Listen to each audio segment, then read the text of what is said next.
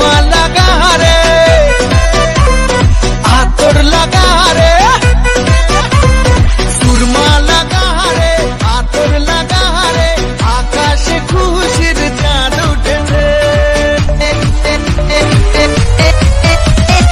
ঈদ ঈদ ঈদ ঈদ ঈদ ঈদ ঈদ ঈদ ঈদ ঈদ এসেছে ঈদ ঈদ ঈদ ঈদ ঈদ এসেছে ঈদ ঈদ ঈদ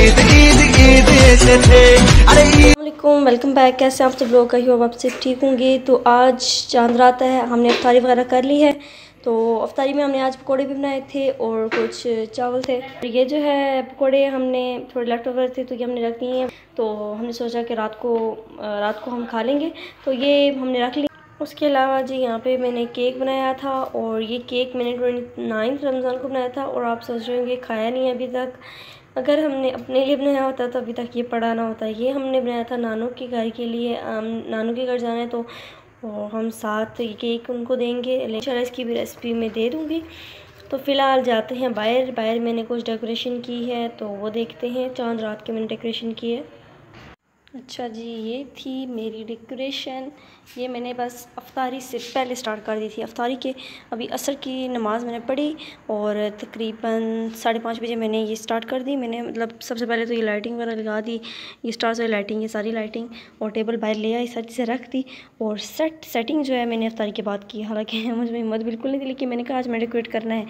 तो वैसे हमने डेकोरेट नहीं करना था। अगर होता ना अगर ट्वेंटी नाइन रोज़े होते तो फिर डेकोरेशन मुश्किल थी, क्योंकि आगे तो तीन चीज़ें रहती थी, हमारी कुछ तैयारी कंप्लीट नहीं हुई थी। तो अभी जब थर्टी तो रोज़े हुए तो आराम से कौन से सारी तैयारी कंप्लीट हो गया कपड़े वगैरह रेडी सब कुछ रेडी हो गया। तो फारिग ही थी तो मैंने सोचा कि क्लीनिंग वगैरह कर ली थी तो सोचा कि जो है डेकोरेशन भी कर लूँगी। तो सारी डेकोरेशन मैंने अकेले की है, बस मुझे दिल कर रहा था बहुत ज़्यादा। तो मैंने सोचा कि व्लॉग भी काफ़ी दिन हो गए नहीं बनाया तो व्लॉग भी इस तरह इसी बहाने बन जाएगा। तो ये सारी मैंने डेकोरेशन की है तो ये मैंने लाइट अभी ऑन रखी हुई है तो ये ऐसी लग रही है। और अभी मैं लाइट ऑफ़ करती हूँ, फिर देखती हूँ कि कैसी लगती है। अच्छा जी, ये देखिए। लाइट ऑफ़ करने से कुछ ऐसा व्यू आ रहा है। बहुत अच्छी फीलिंग आती है ऐसी डेकोरेशन करो तो। इसीलिए मैंने सोचा कि डेकोरेशन कर ही लेती हूँ। सही चाँद रात वाली फीलिंग आ रही है। और अभी इन मैं मेहंदी डलवाऊँगी। उससे पहले मैं आप लोगों को यहाँ पे ही पड़े हैं। फांसी प्रेस करके सारे ड्रेसेस रखे हैं। तो इन ड्रेसेस के बारे में कुछ बता ड्रेसेस प्रेस करके जो रखे हैं वो ईद के मैं बता देती हूँ।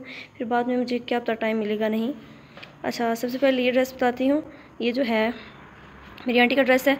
तो ये मेरी आपी ने सिलाई किया है और ये देखें, इसके बाजू पे ये डिज़ाइन है और ये गला ऐसे है और दामन में भी ऐसा ही डिज़ाइन है, देखें। अच्छा जी नेक्स्ट ड्रेस जो है वो है मेरी शर्ट ये मेरी शर्ट है और इसके कॉलर्स ये इस इस डिज़ाइन के हैं.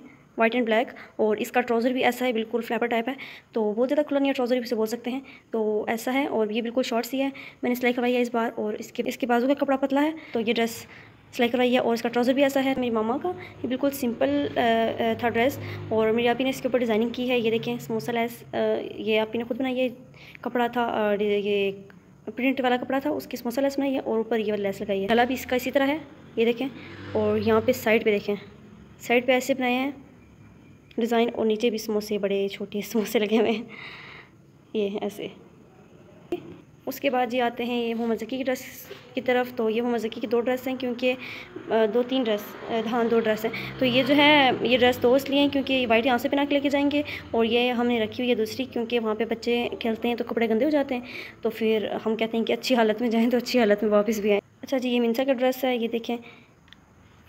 इसका तो मुझे बहुत अच्छा लगा है ना। ये बहुत प्यारा ड्रेस है, इतने प्यारे फ्लावर्स बने हुए हैं और उसके साथ ये टाइट है, ये रेडीमेड लिया था।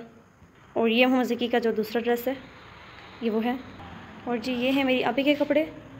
तो ये देखें, इसका, ये बिल्कुल सिंपल सिलाई कर रहे हैं और इसके साथ जो है एक ग्रीन कलर का एक स्टॉलर है और एक ग्रीन कलर का दुपट्टा जो साइड पे करने के लिए।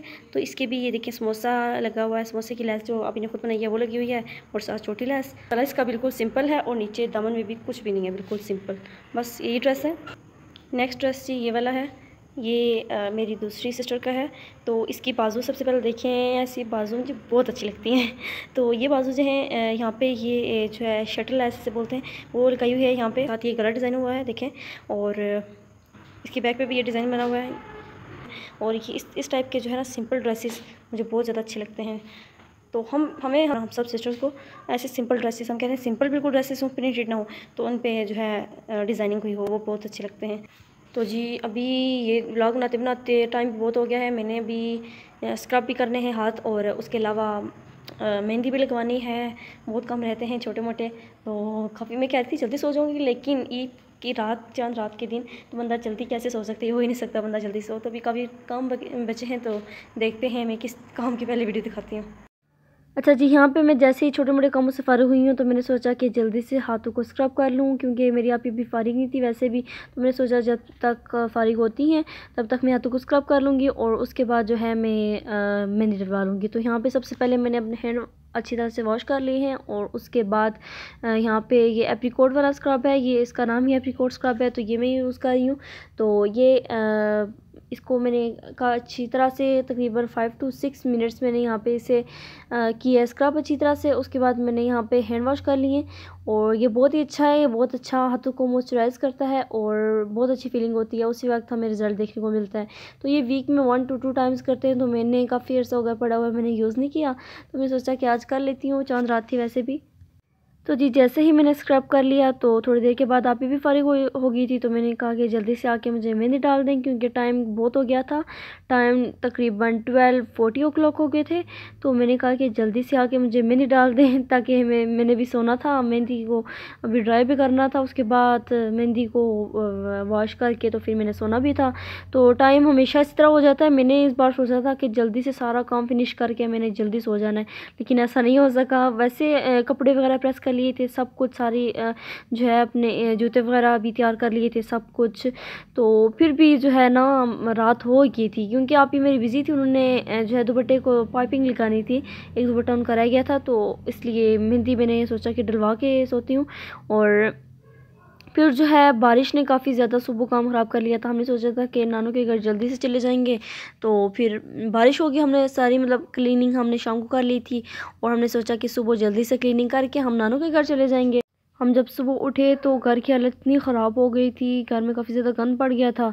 तो बारिश की वजह से मट्टी वगैरह आ गई थी तो हमने फिर सुबह दोबारा से क्लीनिंग की और फिर हम तकरीबन साढ़े दस बजे तक गए गए थे अपने नानों के घर। इसीलिए मैंने जो है ना चाँद रात व्लॉग एडिट भी लेट किया क्योंकि हमारे सेल की चार्जिंग भी नहीं थी और ईद के फ़र्स्ट डे में कोई व्लॉग भी नहीं बना सकी इसी वजह से। खैर, इस बार सिर्फ़ जो है चाँद रात का व्लॉग अपलोड होगा। यहाँ पे मेरी मेहंदी भी डल गई है तो मेहंदी दिखाते दिखाते यहाँ पे चूड़ियाँ आगे आई और मेरी मेहंदी ख़राब हो गई साइड से। तो वॉश करने से जो है ज़्यादा दाग वगैरह नहीं पड़े। तो बस यहीं पे मैं अपने ब्लॉग का एंड कर रही हूँ। अपना बहुत सा ख्याल रखिएगा। टेक केयर अल्लाह हाफिज़।